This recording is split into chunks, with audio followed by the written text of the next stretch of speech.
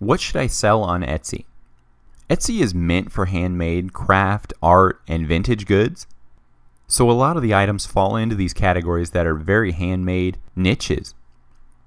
So here's some product ideas for you. You could possibly sell woodwork crafts, art, clothing, baby accessories, handmade jewelry, home decor. Now, if you're not a crafty person or a builder or an artist, I like to ask my clients, what do you use every day? I personally download the app Evernote or just grab a pad of paper and write down everything you touch over a couple day period. Think if you are using these products every day, then other people most likely are as well. So now that you have these product ideas, head to Etsy and start digging down into categories to see what products are selling and what variation you can put on it. So, some guidelines I follow, at least in the beginning, are retail price points between 15 and $30. So think of it, infomercials. Everything is priced between $9.99 and $29.99. $19.99 being the sweet spot. So why is this? People make impulse buys at these price points. Anything cheaper, people may question the value. Anything pricier, people may go buy the name brand or dig deeper for other Etsy products. So while I investigate Etsy and look for a new product, one method I use is to read bad reviews of other products. So I love to read the one and two star reviews and see what the buyers hated about this product. Think of it, whatever they hated, you can change or customize and sell that improved product.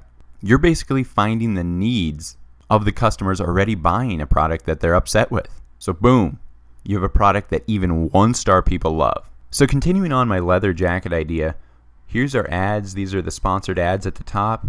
Let's look at this girl. Now to look at their actual sales, scroll down.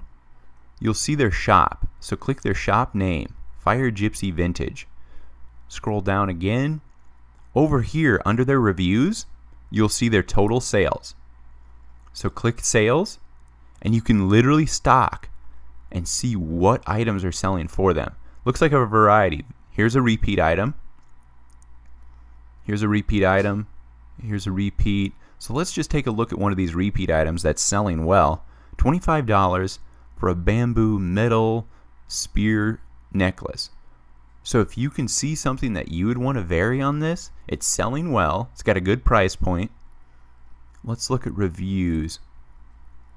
A lot of five stars. It may take some work to find a one star, but you can scroll through and read all the reviews and find out which product makes sense for me. If it doesn't make sense for you, let's just go back to the drawing board, back up, out of her shop. Let's find another leather goods. So let's go with this sponsored one. Look at her shop. Scroll down. Ah, 160 sales. Nothing selling well for her. So see what I'm doing? Just keep checking different shops, see what's selling, and see what variations you can change and improve and sell yourself.